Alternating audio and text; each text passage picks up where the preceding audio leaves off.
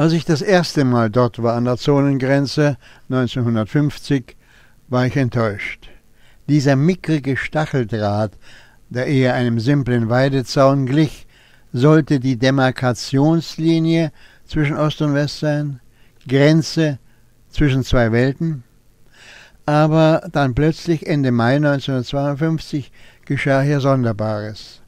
Da pflügten und eckten Grenzpolizisten unmittelbar an der Demarkationslinie einen zehn Meter breiten Streifen von der Ostsee bis an die Tschechoslowakei.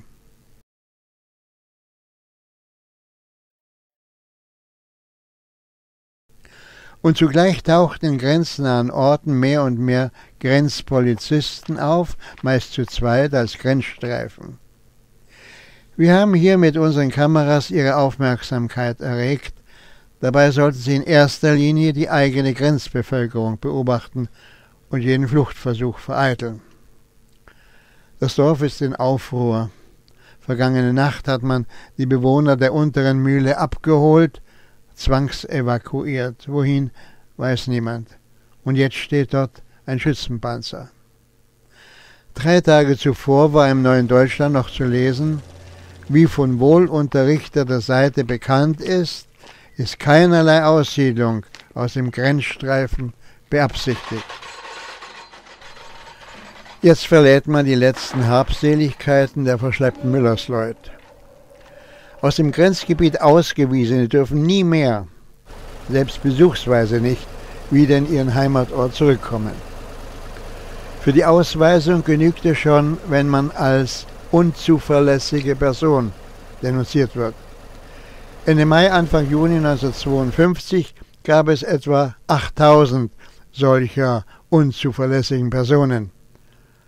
3000 von ihnen gelang noch auf den letzter Minute die Flucht in die Bundesrepublik. Leerstehende Häuser an der Grenze werden abgerissen.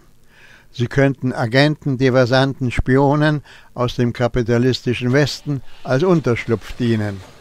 So die Argumentation in den DDR-Zeitungen. Bei der Grenzpolizei weiß man es besser. Sicht und Schussfeld müssen geschaffen werden, wenn man Fliehender noch auf den letzten Metern habhaft werden will.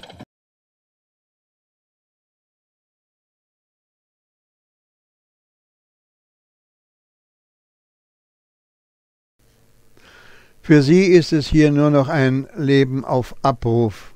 Zwei, drei Tage vielleicht noch, dann sind auch sie an der Reihe der unzuverlässigen Personen.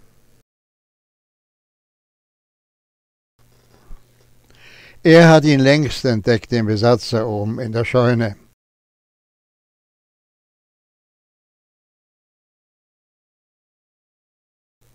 Und die beiden wollen auch mal nach Westen schauen, da sieht der ältere Junge auf der Straße den Grenzpolizist und drängt seinen kleinen Bruder ins Haus. Die Polizei in den Grenzdörfern ist nervös. Fast jede Nacht fliehen Bauern mit Wagen und Geräten in den Westen. Dieser Graben, um jedes Grenzdorf gezogen, soll das in Zukunft verhindern.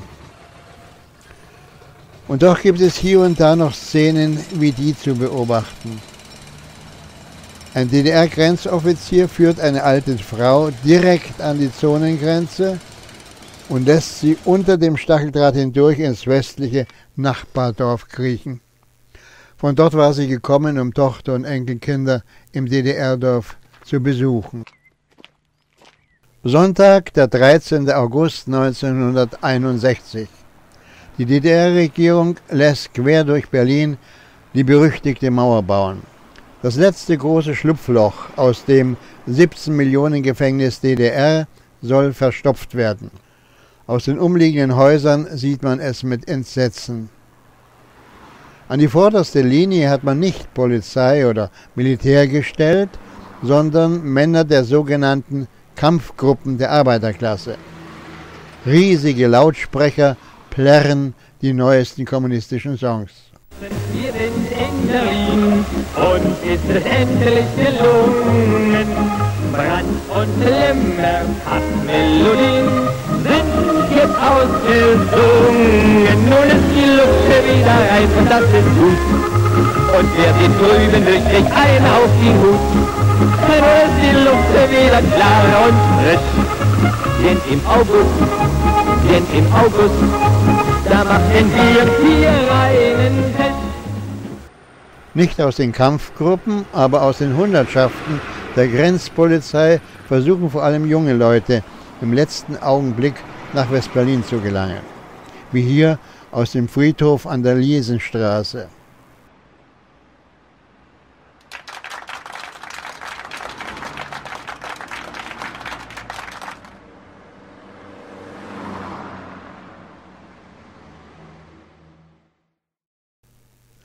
Vier Wochen nach dem Mauerbau, genau am 15. September 1961, wird die gesamte Grenzpolizei der DDR in Stärke von 50.000 Mann der Nationalen Volksarmee unterstellt. Von da an stehen bzw. liegen in einer Art Schützengräben Soldaten, nicht mehr Polizisten, an der Grenze gegenüber der Bundesrepublik Deutschland.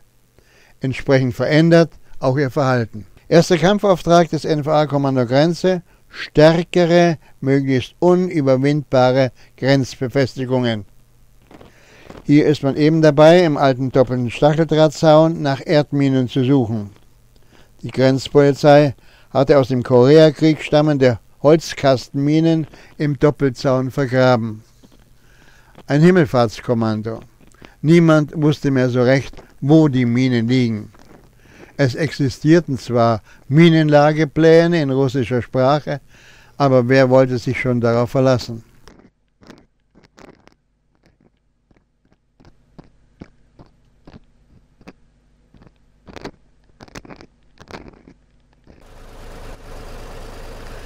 Nach Beseitigung der Holzkastenminen und Abriss des alten, verrosteten Stacheldrahtzaunes wird ein neuer Sperrzaun errichtet. Allein schon an den Betonsäulen erkennt man unschwer, dass es sich hier um ein weit stabileres Grenzhindernis handelt, als es die kreuz und quer verspannten Stacheldrähte waren. Die Säulen sind wesentlich länger und können tiefer in den Boden eingelassen werden. Während die alten Betonsäulen in Löcher kamen und lediglich mit Erde festgestampft wurden, kommen die neuen Säulen in exakten Abständen gefluchtet und eingesenkelt in betonierte Fundamente. Ich erinnere mich noch, als dieser Zaun im nördlichen Harz installiert wurde und man mit einfachem Werkzeug, Schaufel und Hacken nicht tief genug in den felsigen Untergrund kam, andererseits aber vor Wintereinbruch das vorgegebene Soll zu erfüllen hatte, kürzte man die neuen Betonsäulen um fast einen Meter. Resultat? Nach Eisregen und Schneesturm lag der neue Sperrzaun auf Längen bis zu zwei Kilometer flach.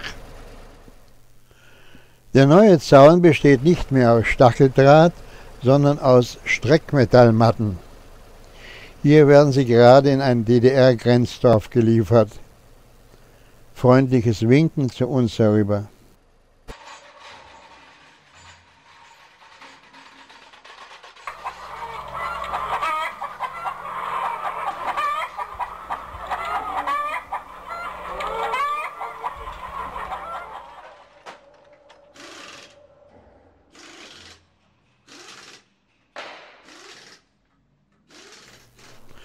Mit Bolzenschussgerät werden Schrauben in den Beton geschossen.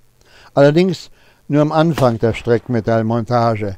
Dann, nach dem ersten Winter, musste man feststellen, dass der Beton durch den Beschuss feine Haarrisse bekommen hatte, in die Wasser eindrang und zu Eis gefroren die Säulen beschädigte.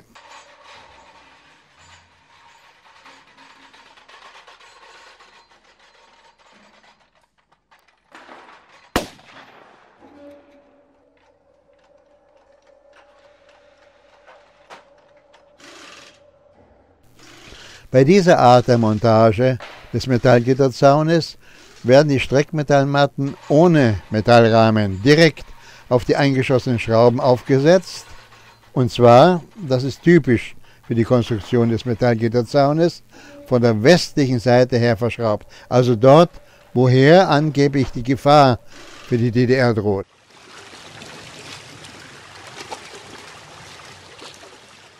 Und das ist das Gegenmittel gegen den neuen Sperrzaun der, wie sie im Osten genannt wird, modernen Grenze.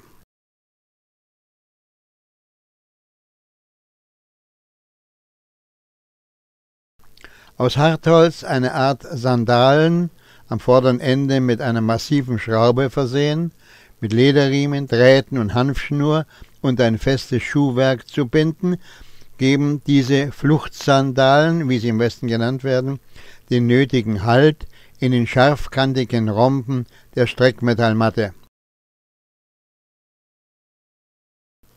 Die Hände ziehen sich beim Überklettern des Sperrzaunes an Fleischerhaken empor.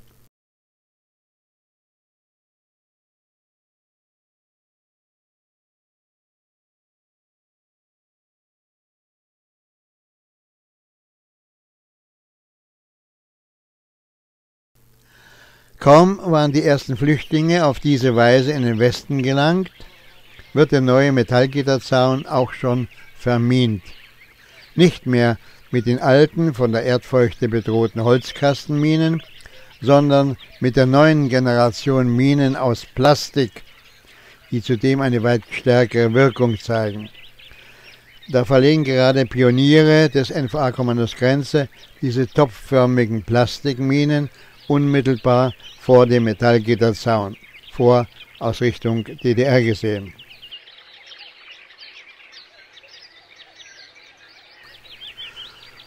Und auch die hölzernen Wachtürme entsprechen nicht mehr dem Bedürfnis des neuen Grenzkommandos, zumal die fast in jedem Grenzabschnitt anders konstruiert sind. Die neuen Türme sind aus Betonfertigteilen bis zu elf Betonrohre hoch, in dessen Innern eine Metallleiter nach oben in die Turmkanzel führt.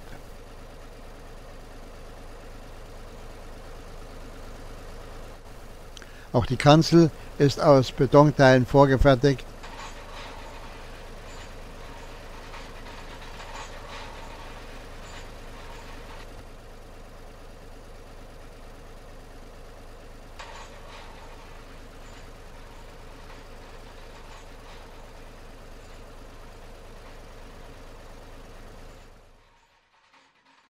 rundherum Klappfenster.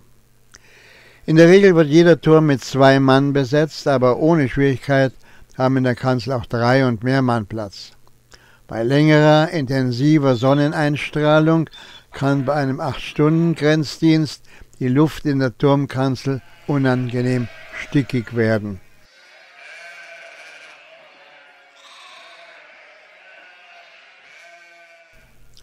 Manchmal erscheinen im Westen Musikgruppen, um den DDR-Bewohnern grenznahe Orte als Zeichen der Zusammengehörigkeit ein Ständchen zu bringen, wie in der folgenden Reportage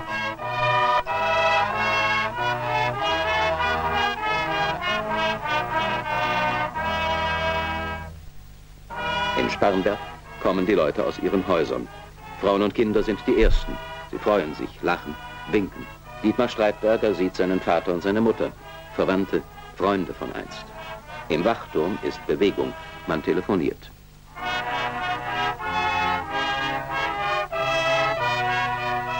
Immer mehr Spanberger haben sich eingefunden, um der Musik vom gegenüberliegenden Saaleufer zuzuhören.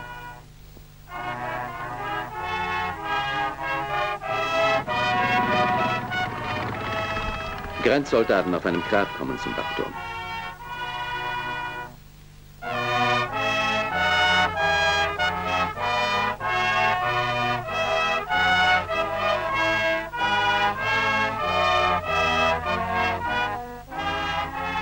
Sobald die Soldaten näher kommen, ziehen sich die Einwohner zurück.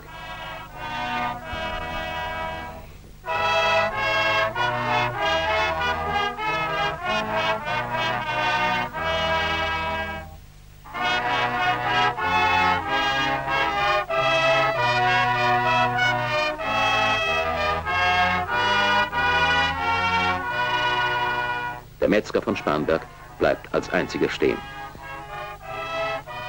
bis auch er geht.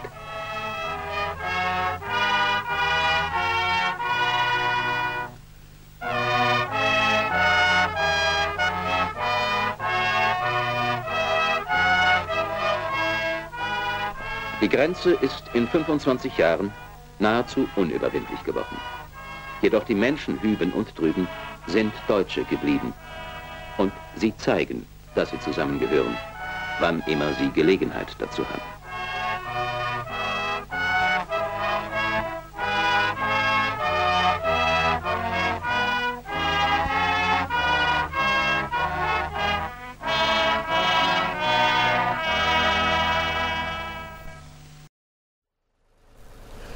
Moderne Grenze hin, moderne Grenze her. Solange noch solche Blickkontakte hinüber und herüber möglich sind, glaubt das Ostberliner Grenzkommando noch immer nicht seinen Auftrag der Totaltrennung gegenüber dem imperialistischen Klassenfeind erreicht zu haben. Der Grenzmetallzaun der modernen Grenze hat, dagegen helfen auch die Minenfelder nicht, noch immer den Nachteil, dass man durch ihn hindurchsehen kann. Dagegen hilft nur eins, Mauern als Sichtblenden müssen her.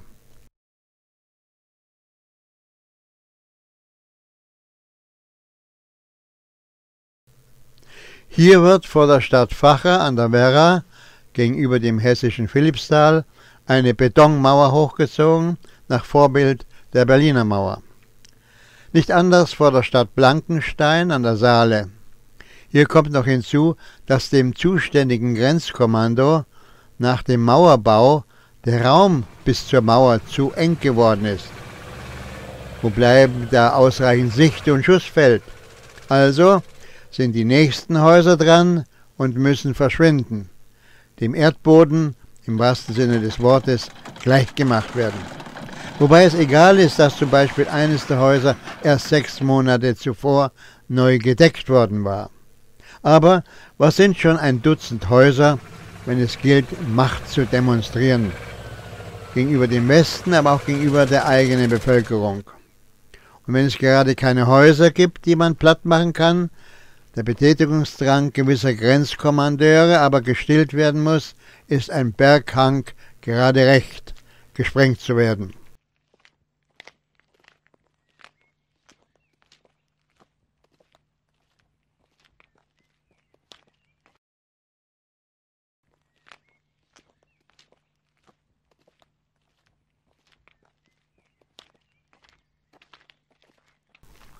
Natürlich mit der nötigen Vorsicht, dass da niemand sich vielleicht erdreistet, solche Aktionen zur Republikflucht zu nutzen. Während die Arbeiter von Grenzsoldaten nach hinten verbracht werden, gehen die Offiziere an vorderste Front, um die offene Flanke des Berghanges gegen die Bundesrepublik abzuriegeln.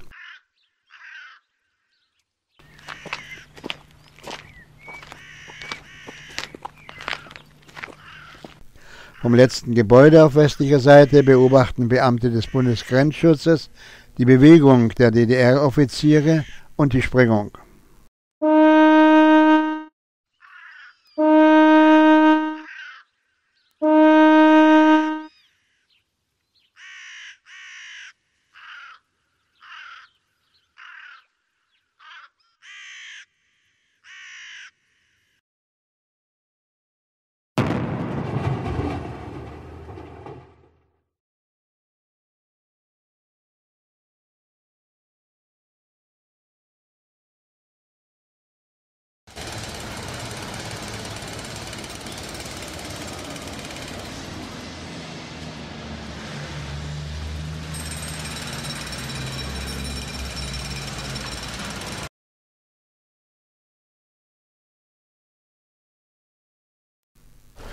Sperrzäune, Mauern, Minen, das alles ist dem Grenzkommando der Nationalen Volksarmee noch immer nicht genug.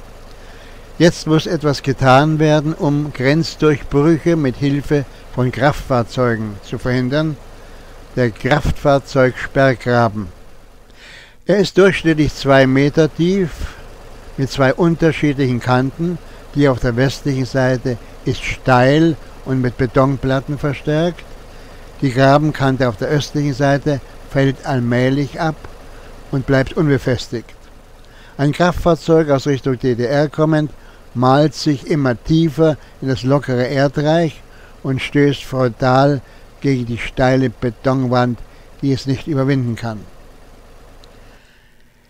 Ist so das freie Gelände durch den Kraftfahrzeugsperrgraben gesichert, können Straßenübergänge Ost-West durch fahrbare, schwere Straßensperren für Kraftfahrzeuge praktisch unpassierbar gemacht werden.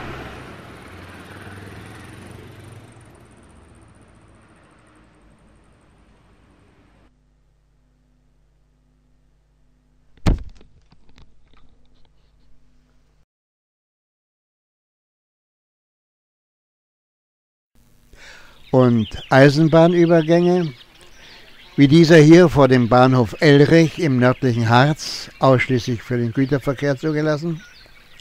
Da müssen die Vierbeiner ran. Spürhunde, auf Menschen abgerichtet, suchen nach Flüchtenden unter den Güterwagen.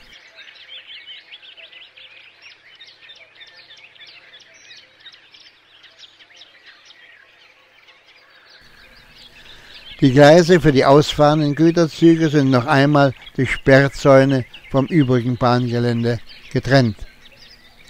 Für die Ausfahrt in die Bundesrepublik werden keine eigenen Loks verwendet, die Lokführer könnten womöglich die Rückfahrt vergessen, sondern die Bundesbahn schickt ihre Dieselloks.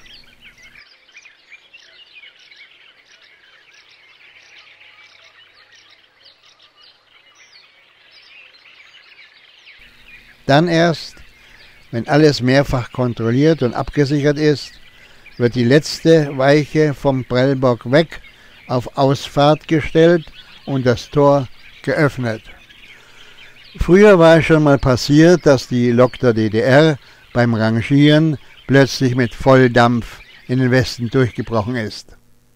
Dann hatte man eine Weiche eingebaut, die auf einen starken Prellbock führt und erst unmittelbar vor dem offiziellen Verlassen des Güterzuges auf geradeausfahrt gestellt wurde. Und so schnell wie geöffnet wird das Tor wieder geschlossen und die Weiche Richtung Prellbock gestellt. Anfang der 70er Jahre tauchen wieder Grenzsoldaten mit langen Sonden in den Minenfeldern auf. Diesmal suchen sie nach Plastikminen obgleich viele von denen kaum zwei, drei Jahre in der Erde liegen und jetzt schon wieder beseitigt werden sollen. Westdeutsche Medien spekulieren, Honecker als Nachfolger Ulbrichts lässt die Minenfelder an der DDR-Grenze räumen. Praktizierte Koexistenz. Sind die Plastikminen geortet, tritt der Sprengtrupp in Aktion von einer Streife des Bundesgrenzschutzes, hier auf der Straße im Vordergrund, beobachtet werden an die Minen Sprengsätze gelegt und deren Zeitzündschnüre in Brand gesetzt. Weil bei den Minensprengungen immer wieder das Territorium der Bundesrepublik verletzt wurde und die Bundesregierung dagegen scharfen Protest einlegte, ließ das Grenzkommando an gefährdeten Abschnitten solche Konstruktionen auffahren.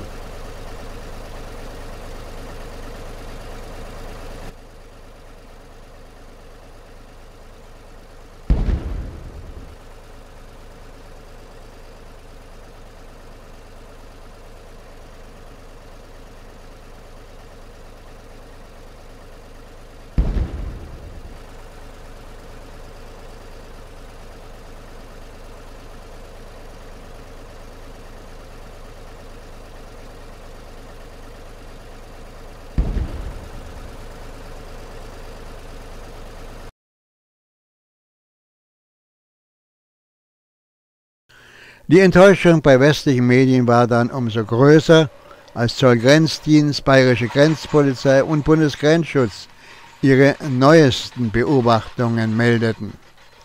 Am Metallgitterzaun, der eben von der Plastikmine befreit worden war, installieren Grenzsoldaten nunmehr eine neuartige Selbstschussanlage, SM-70 genannt. SM für Splittermine, 70 als Jahreszahl 1970 für die Einführung der neuen Waffe in der Nationalen Volksarmee.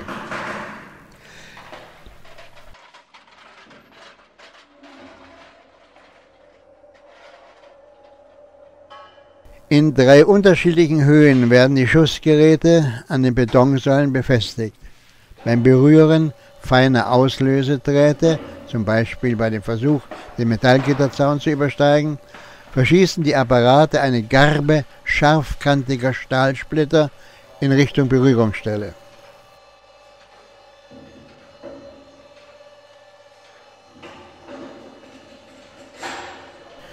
Die ersten Opfer dieser neuartigen Waffe waren zwei Schweine.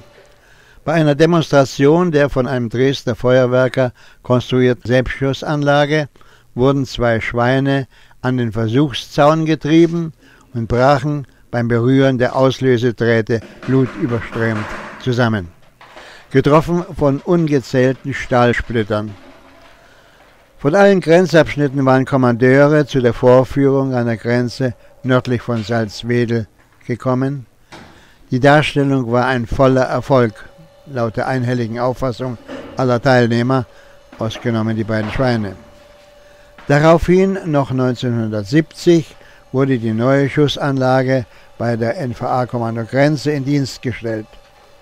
Und allmählich tauchte sie an verschiedenen Grenzabschnitten auf und mit ihr die ersten toten und schwer verwundeten Opfer Zunächst unter den Grenztruppenpionieren, dann unter den Flüchtlingen.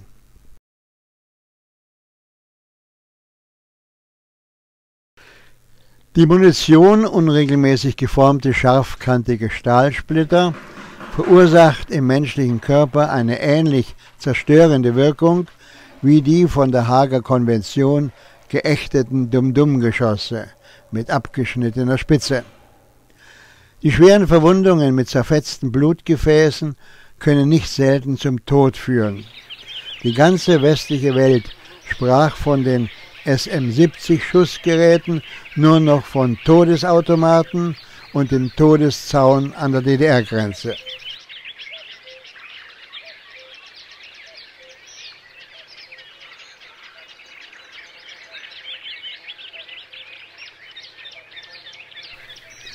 Selbst am Metallgitterzaun ist neben ausgelösten Schussapparaten die enorme Wirkung der Stahlsplittergarbe zu erkennen.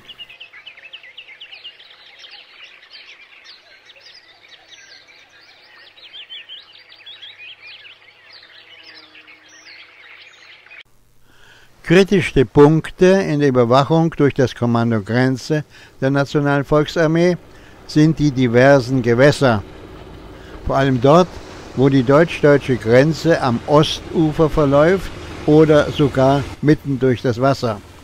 Wie zum Beispiel hier im Schalsee, dem südlichsten der Lauenburgischen Seen. Für den Bundesgrenzschutz umso schwieriger zu handhaben, als am westlichen Ufer des Schalsees tausende Bundesbürger in Zeltstätten kampieren. Da gilt es vor allem, die ungezählten Schwimmer und Bootfahrer davor zu bewahren, über die Grenzlinie zu gelangen oder gar das östliche Ufer zu betreten. Wo die Grenze am gegenüberliegenden Ufer verläuft, gehören Wasser und auch der Schilfgürtel zur Bundesrepublik, der erste Fußbreitboden bereits zur DDR.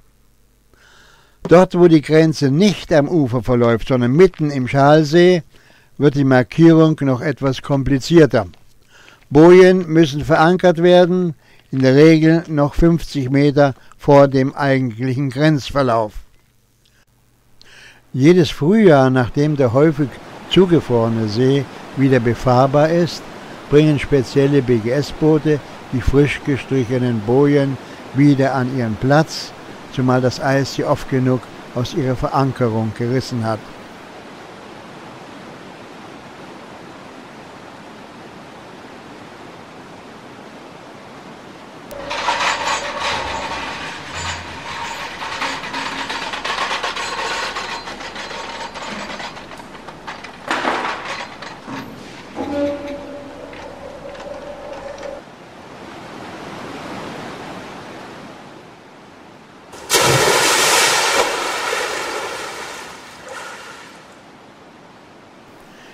Die östliche Seite zeigt kein Interesse, den Grenzverlauf im Wasser zu markieren. Am Ufer die üblichen Grenzsäulen und jeder Schritt westlicher Schwimmer oder Paddler auf DDR-Boden bringen bei der Auslösung von Mensch und Boot wertvolle Devisen. Der Elbestrom und eines der schnellen Streifenboote der DDR. Auf 93,7 Kilometer Länge zwischen Schnackenburg und Lauenburg ist die Elbe deutsch-deutsche Grenze, zumindest nach Auffassung von Ostberlin. Obgleich das Potsdamer Abkommen und das Londoner Protokoll zweifelsfrei das rechte Elbeufer auf Höhe der Buhnenköpfe als Grenzverlauf bezeichnen.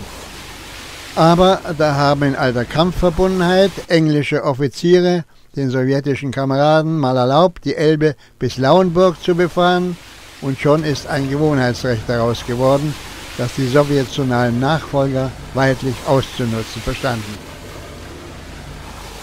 Mit ihren Schnellbooten befahren sie Tag und Nacht die Elbe zwischen Kilometer 473 und 567. Erster Kampfauftrag, Verhinderung jeder Fluchtbewegung von Schwimmern, Booten oder dergleichen vom DDR-Ufer her und Aufnahme auf westliche Schiffe. Stationiert sind die DDR-Schnellboote im Hafen des Festungsstädtchens Dömitz. Die Männer der Bootsgruppe Dömitz gehören zum NVA-Kommando Grenze, tragen aber die blaue Uniform der DDR-Volksmarine. Jedes Boot muss mit drei Mann besetzt sein, Bootsführer, Maschinist und Funker. Die Posten auf den Wachtürmen entlang der Elbe haben sofort über Funk jedes Boot zu melden, das nicht mit drei Mann besetzt ist. Alarm in zwei benachbarten Grenzkompanien. Versuch eines Grenzdurchbruches, sprich Flucht, ist gemeldet. Aber wo ist er, der Flüchtende?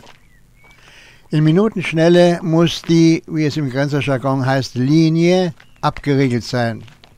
Jeder kennt seinen Postenplatz im Alarmfall, weiß, wer links und rechts seine Nachbarn sind. Da kommt keiner durch. Aber wo ist er? Der Republikflüchtige, der Feind der Arbeiterklasse, der Verräter und wie die Termini alle heißen, deren man sich laut Politunterricht in einem solchen Fall zu bedienen hat. Letzte Möglichkeit, den Flüchtenden zu stellen, hat nur noch eine Streife hinter, von der DDR aus gesehen, hinter dem letzten Sperrzaun. Das heißt, unmittelbar an der Grenzlinie zur Bundesrepublik. Dieses Gelände darf nur von einer Dreierstreife betreten werden, geführt von einem Offizier, mindestens von einem Unteroffizier im Feldwebelrang. Alle Teilnehmer müssen vom Staatssicherheitsdienst zugelassen sein. Wie widersprüchlich das Erscheinungsbild sein kann, das die Grenzsoldaten auf den westlichen Beobachter machen, wird verständlich, wenn man den Hintergrund kennt, die Situation in den Grenzkompanien ab etwa Mitte der 70er Jahre. Die einst als Eliteeinheit gepriesene Grenztruppe hatte nicht mehr genügend Nachwuchs. Der musste immer mehr aus den Reihen der Wehrpflichtigen rekrutiert werden. Das ging so weit, dass zum Schluss bis zu 70 Prozent der Grenzkompanieangehörigen Wehrpflichtige waren. Sehr zum Leidwesen der Vorgesetzten.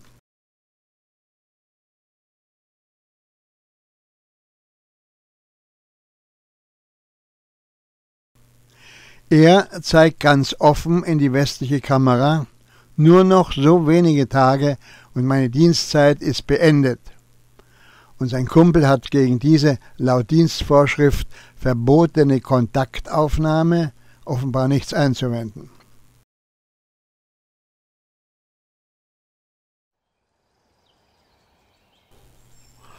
Man spürt es ganz deutlich. Da hat sich viel geändert im Laufe der Jahre. Da ist nicht mehr dieses kalte, abweisende Gegenüber. Nicht bei den Zivilisten in den Grenzdörfern und nicht bei den Grenzsoldaten. Hier ist eine Fahrradstreife ins Dorf gekommen. Gegenüber auf Bundesgebiet stehen nicht nur wir mit unseren Kameras, die wir eigentlich mehr zufällig hierher gekommen sind. Da stehen auch ein paar Wanderer und bestimmt auch der eine oder andere aus dem westlichen Nachbardorf, Bekannte oder Verwandte. Vor so viel Publikum macht man sich erst einmal schön.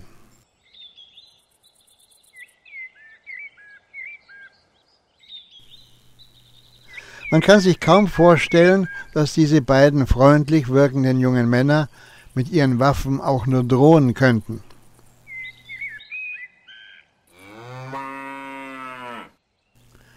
Da kommen die ersten Kinder an den Sperrzaun. Zurückzuwinken, das wagen sie noch nicht, zumal die beiden Grenzsoldaten jetzt wieder zurückkommen.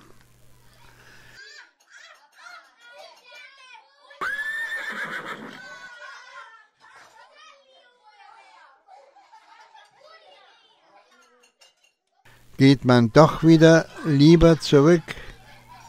Aber der Grenzsoldat war es nicht, der sie zurückgerufen hat. Die kleinsten sind die tapfersten. Dann kommen auch die größeren wieder nach vorn, während der Grenzer sein Fernglas einem Dorfbewohner reicht. Eindeutiges Dienstvergehen.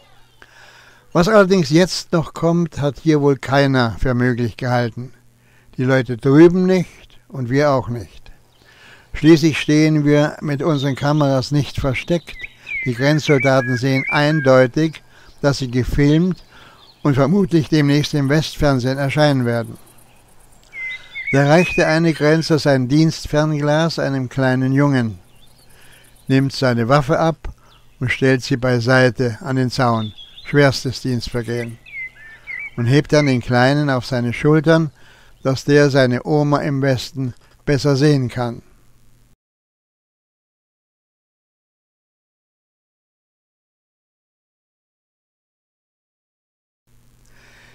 Während das zwischenmenschliche Verhältnis, vor allem durch die Wehrpflichtigen in den Grenzkompanien, sich immer weiter entkrampfte, setzte das Grenzkommando alles daran, die DDR-Bevölkerung mehr und mehr abzuriegeln. Die neueste Entwicklung im Sperrsystem wird hier installiert, der sogenannte Grenzsignalzaun. Oben auf und über die gesamte Zaunhöhe mit elektrischen Signalstacheldrähten versehen, alarmiert er optisch-akustisch mit einer roten oder grünen Rundumleuchte und einem Elektrohorn die leichteste Berührung des Sperrzaunes. Als Honecker im Oktober 1983 vor einem Staatsbesuch in Wien stand, kündigte er österreichischen Fernsehjournalisten an, dass diese Dinge, wie er Minen und SM-70 nannte, abgebaut werden was auch tatsächlich geschah. Allerdings immer erst dann und dort, wo der neue Grenzsignalzaun installiert war. Und so eskalierte nach jahrzehntelangen Änderungen, Verstärkungen, Intensivierungen und Weiterentwicklungen der einstige simple, einem Weidezaun ähnliche Stacheldraht der alten Zonengrenze zu einem der raffiniertesten Sperrsysteme hinter dem 17 Millionen Deutsche gefangen gehalten werden.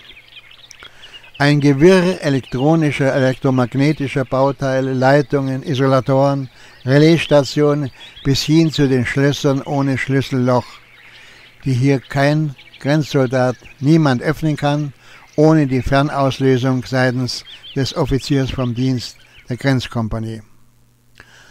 Doch bei aller Raffinesse der Konstruktion dieser modernen Grenze wird eine neuralgische Situation von der Notwendigkeit diktiert, letzte Grenzhindernisse beseitigen zu müssen, weil irgendwelche Bauarbeiten jenseits der Sperren durchzuführen sind. Da wird jeder Bauarbeiter auf Schritt und Tritt begleitet und überwacht. Und schon zuvor hatten Grenzsoldaten das Gelände besetzt und sich mit aufblasbaren Sitzkissen für einen langen Grenzdienst eingerichtet.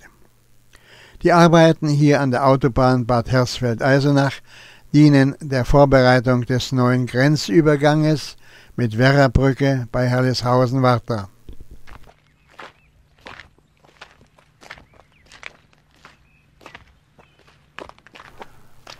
Alle zusammengezählt sind auf dieser Baustelle viermal so viel Grenzsoldaten wie Arbeiter. Und unter diesen noch einige, die bestimmt keine echten Bauarbeiter sind, sondern Angehörige des Ministeriums für Staatssicherheit. Zum Beispiel solche, die erstaunlicherweise ohne jeden Bewacher hier ein- und ausgehen, während andere keinen Schritt tun können, ohne im Rücken einen bewaffneten der selbstredend nur für ihre Sicherheit da ist. Und bei ihm ist die Frage erlaubt, wer darf hier im Grenzgebiet schon fotografieren? Grenzsoldaten nicht und Arbeiter erst recht nicht. Und die in diesem Bauwagen sitzen und von oben das gesamte Gelände observieren, sind gewiss auch keine Bauarbeiter. Und er auch nicht.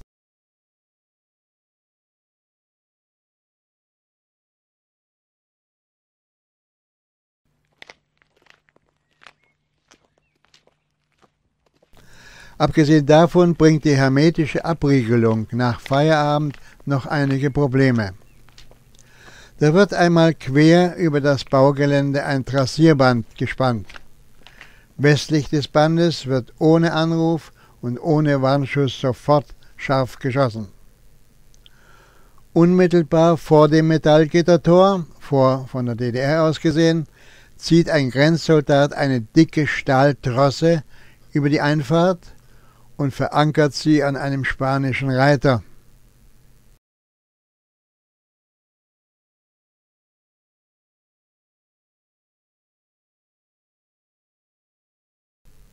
Dann ebenso eine zweite Drosse.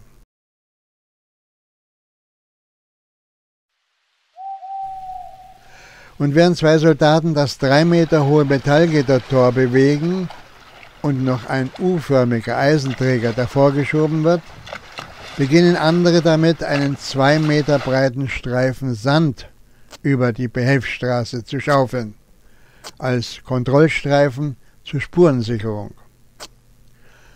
Noch wird ein dünner, nachts kaum sichtbarer Draht eines Signalgerätes verspannt,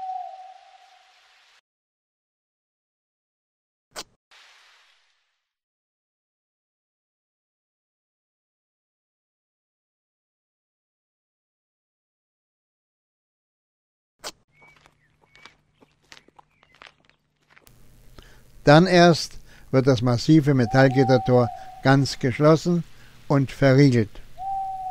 Erst jetzt erscheint dem Grenztruppenkommando die Sicherheit der DDR so weit wiederhergestellt, dass es selbst den eigenen Soldaten, und seien sie motorisiert, unmöglich gemacht ist, zu fliehen.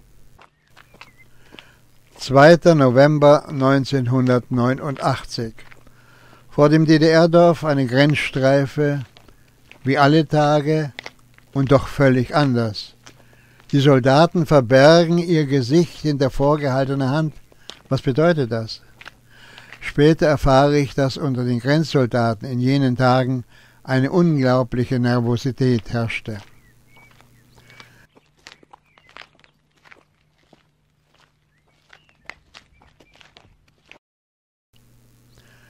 Dann kommt der 9.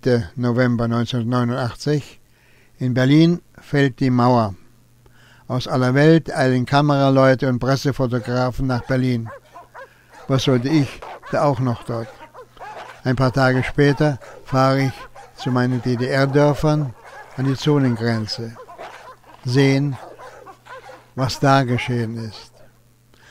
Das Erste, was mir auffällt, die Straßensperre vor dem Dorf die immer geschlossen war, steht sperrangelweit offen und kein Grenzsoldat zu sehen. Ein ehemaliger Dorfbewohner, der vor Jahren in den hessischen Nachbarort geheiratet hatte, erzählt mir von den Tagen 10. und 11. November.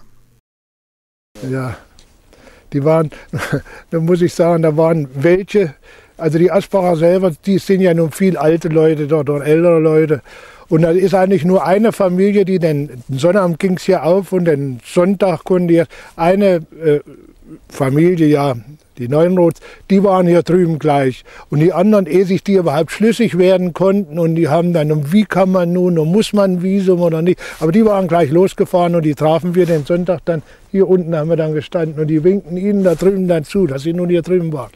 Aber dann irgendwann äh, kam, kam dann doch wohl die Freude auf. Die, die waren erst so ein bisschen fassungslos. Erst als wenn man sagt, wir glauben es gar nicht so richtig. Ist es denn wirklich wahr? Ist es so? Kann man es probieren? Junge Leute sind dann natürlich, naja, da fahren wir einfach hin.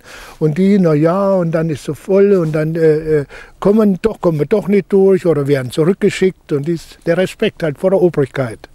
Und die Sperrschranken im Dorf. Aber die, die Schranke ist weg. Die ist eines Morgens, war sie, war sie aufgenommen, war verschwunden, sagten mir die äh, Leute da in Asbach. Die, da, die Schranke war weg.